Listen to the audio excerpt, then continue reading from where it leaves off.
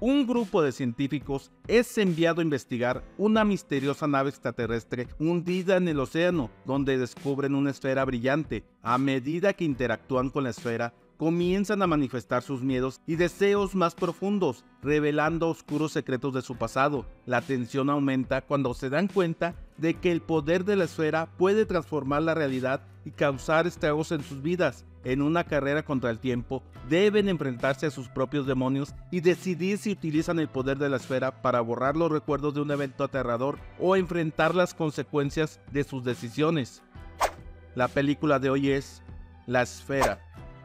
La historia comienza en las profundidades del Océano Pacífico. La Marina de Estados Unidos encuentra una embarcación misteriosa y llama a un equipo de científicos para investigarla.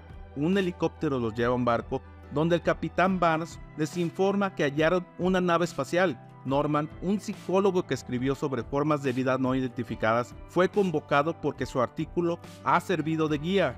La nave está enterrada bajo 8 metros de coral, lo que sugiere que lleva ahí 300 años, desde 1709. Creen que podría haber vida dentro, así que traen científicos para establecer contacto y prevenir una posible invasión. Barnes menciona que el sonar de la Armada detectó un zumbido de bajo nivel, indicando que algo funciona dentro de la nave. Antes de sumergirse, Norman le confiesa al matemático Harry que su artículo había sido una farsa y Harry acepta guardar el secreto. Luego, los científicos embarcan en un submarino hacia la estructura llamada el Hábitat, construida por la Marina para la investigación.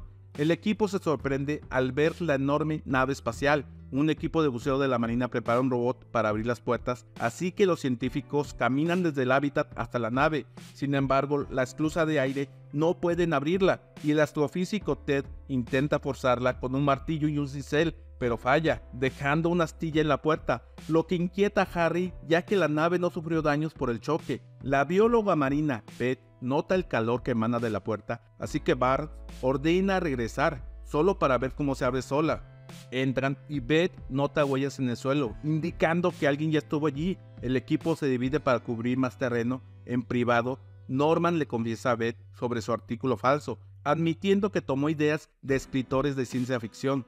Suben a una plataforma que los lleva al siguiente piso, donde Beth grita al ver un cuerpo en una silla, aparentemente humano, muerto por un traumatismo contundente, con un bocadillo llamado almendras ahumadas. Concluyen que están en una nave estadounidense y en la computadora Beth encuentra registros en inglés con fechas del 43 y un elemento llamado evento de entrada desconocido. Al seleccionarlo, aparece un holograma que muestra una nave espacial entrando en un agujero negro. Luego el dúo informa a los demás sobre su hallazgo y a cambio Barnes les muestra la bodega de carga donde encuentran una enorme esfera que podría ser una trampa.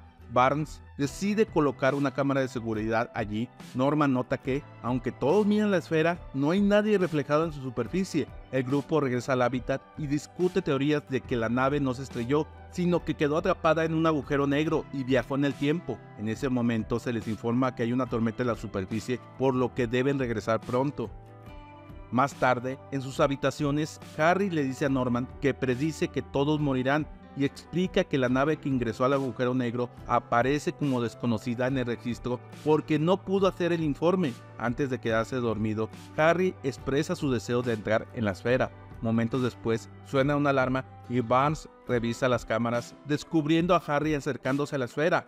Su reflejo se vuelve visible y él desaparece. Barnes anuncia que no volverán a la superficie hasta recuperar a Harry, así que Norman se pone un traje de buceo y regresa a la nave. Al mirar la esfera, Harry aparece en el suelo con signos vitales normales pero sin despertar. Cuando Norman vuelve a mirar hacia arriba, su reflejo aparece en la esfera justo antes de que se corte la luz y Barnes ya no pueda verlos.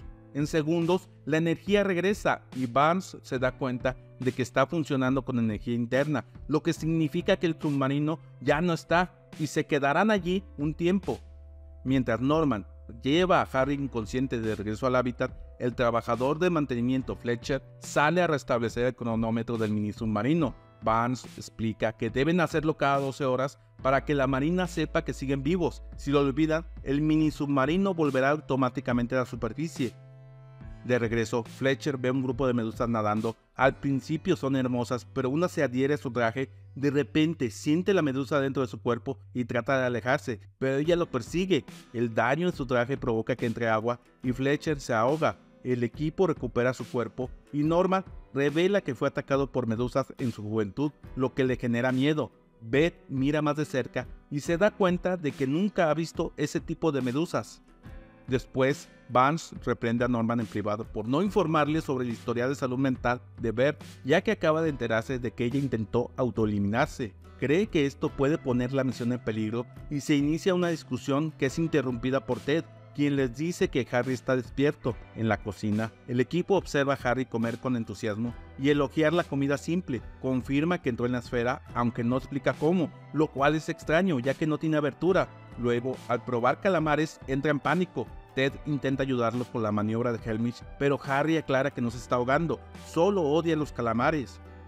Momentos después, Barnes llama a Ted a la computadora porque ha notado algunos problemas. Mientras intentan resolverlos, Harry llega y le pide a Ted que verifique si los números en la pantalla son código binario, sugiriendo que los descifre siguiendo el teclado en forma de círculo para que coincida con la esfera. Ted lo hace y el grupo se sorprende al ver que los números son mensajes de alguien llamado Jerry. Este misterioso Jerry dice cosas simples como hola y estoy feliz, pero a Norman le preocupa lo que sucederá si esta entidad se enoja. Más tarde, Norman escucha un extraño golpe fuera del hábitat y contacta a otro trabajador de mantenimiento, pero no recibe respuesta. Informa a Barnes, quien verifica y descubre que el trabajador está fuera del hábitat. Norman y Beth lo buscan y encuentran su cuerpo sin vida. El ruido proviene de su pie golpeando la pared. Beth se sorprende al ver que el cuerpo ha sido pulverizado. Al llevarlo a la estación, huevos comienzan a caer al suelo.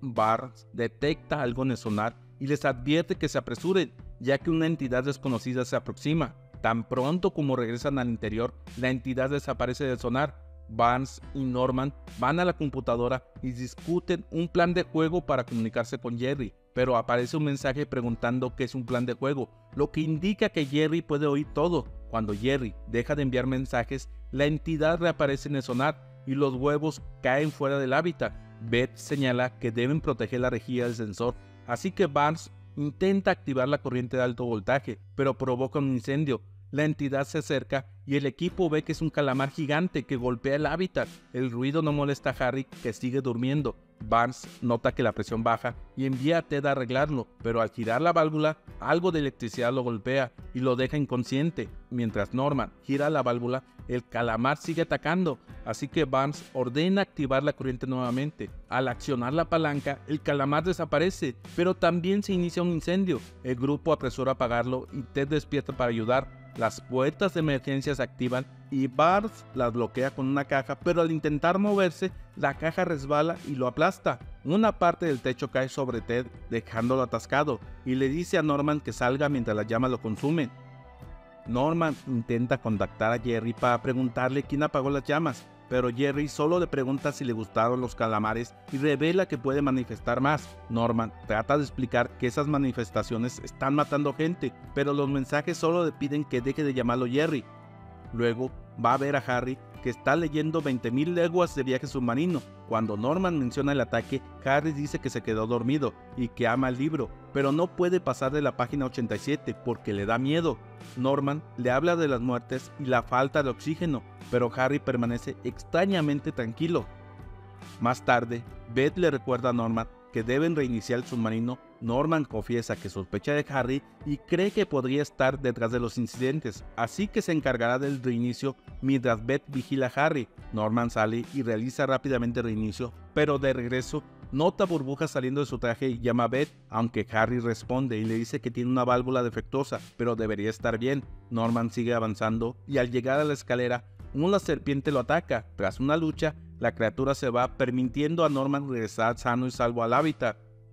Un tiempo después, los chicos ven a Beth entrar en la nave y le preguntan por qué. Ella explica que busca comida porque se les acabó, pero Harry señala que hay suficiente en la cocina. Norman, enojado, le grita a Beth por no vigilar como prometió y le menciona la comida. Beth revisa el refrigerador y el armario, confundida ya que juraba que estaban vacíos. Norman continúa regañándola y Beth estalla, criticando a Norman por creer en Harry antes que en ella. le recuerda que nunca les contó lo que hizo dentro de la esfera. Cuando Norman le pregunta si ella también entró en la esfera, Beth simplemente sale de la habitación. Norman recoge el libro de Harry del suelo, pero al mirar hacia arriba, ve a Harry todavía leyendo. En pánico, abre los armarios y encuentra más copias, dándose cuenta de que Beth tenía la razón. Va a la computadora y le pregunta a Jerry qué hay dentro de la esfera, pero la respuesta le pide que deje de llamarlo así. Desesperado, Norman revisa el código y descubre que Ted mezcló algunas letras. El nombre de la entidad es realmente Harry. Mientras tanto, Beth sale del hábitat y coloca explosivos. Al regresar, Norman le dice que Harry está manifestando las extrañas criaturas y le pide que lea la página 87 del libro, que habla de un monstruo con tentáculos largos. El resto del libro está vacío. Como Harry odia los calamares, teme seguir leyendo, y después de ir a la esfera, puede manifestar esos pensamientos. Ambos acuerdan que necesitan poner a Harry en un sueño profundo, así que buscan un sedante en los suministros médicos. Luego se escabullen en la habitación y Norman salta sobre Harry mientras Beth le aplica la inyección, dejándolo inconsciente. Más tarde, reciben un mensaje de la superficie que indica que el tiempo es adecuado para regresar en 6 horas. Norman va a un baño inundado a lavarse los dientes y una serpiente aprovecha para subirse a sus pantalones. Al gritar, Beth corre, reconociendo a la serpiente como la más venenosa del mundo, que no debería de estar en el agua. Luego le pide a Norman que se reúnan en el laboratorio donde lo encierra y le dice que él es el que manifiesta las serpientes, por lo que necesita una inyección de sedante. Norman se muestra escéptico, pero Beth menciona ejemplos como que Harry está dormido, lo que impide que la serpiente salga de él. Al negarse a cooperar, Beth decide drenar el oxígeno de la habitación, inundándola. Testarudo, Norman busca una mascarilla de oxígeno y escapa por una escotilla. Fuera del hábitat, Beth revisa la computadora y encuentra videos de Barnes cuestionando su salud mental, lo que la pone ansiosa. Cuando Norman regresa, la oye llorar y trata de consolarla, concluyendo que ambos estaban dentro de la esfera, al igual que Harry. Al despertarse, Harry exige explicaciones y Norman explica que la esfera le da poder para manifestar sus pensamientos. La computadora anuncia que los explosivos afuera han sido activados, dejándolos con 13 minutos para evacuar. Beth explica que los explosivos eran para hacer estallar el coral, pero los usó como defensa. Beth se da cuenta de que sus pensamientos fueron los que activaron los explosivos ya que había considerado autoeliminarse. Harry advierte que la explosión podría destruir todo, pues hay hidrógeno líquido en la nave, el equipo corre hacia el mini submarino, pero no pueden encenderlo y son transportados a la nave espacial, donde solo logran correr en círculos. Finalmente, frente a la esfera, el reflejo de Norman le indica que presione el botón. Al entender lo que sucede, Norman les pide a sus amigos que dejen de pensar y de repente aparecen de nuevo en el mini submarino. Norman presiona el botón y finalmente el mini submarino comienza a moverse hacia la superficie, alejándose justo a tiempo de la explosión que destruye el hábitat. Una vez que el mini submarino llega a la superficie, el grupo realiza un proceso de descompresión y encuentran un lugar privado para hablar. No pueden decirle la verdad a la marina ya que no les van a creer y la esfera probablemente fue destruida por la explosión. Beth señala que aún tienen el poder pero temen manifestar cosas peligrosas o que caiga en manos equivocadas. Cuando Norman menciona que ya está en manos equivocadas, Harry propone usar el poder para hacerles olvidar lo que descubrieron, lo que explicaría por qué el incidente en el diario de la nave está marcado como desconocido. El trío se toma de la mano y piensa en olvidar todo lo relacionado con la misión y su poder. En ese momento, la esfera sale del océano y vuela hacia el cielo, regresando al espacio exterior. Cuando los científicos abren los ojos, no entienden por qué están tomados de la mano. Hasta aquí el video de hoy, no se olviden suscribirse al canal, activar la campanita y comentarme aquí abajo de qué película o serie les gustaría que les hablara. Nos vemos en un próximo video. Adiós.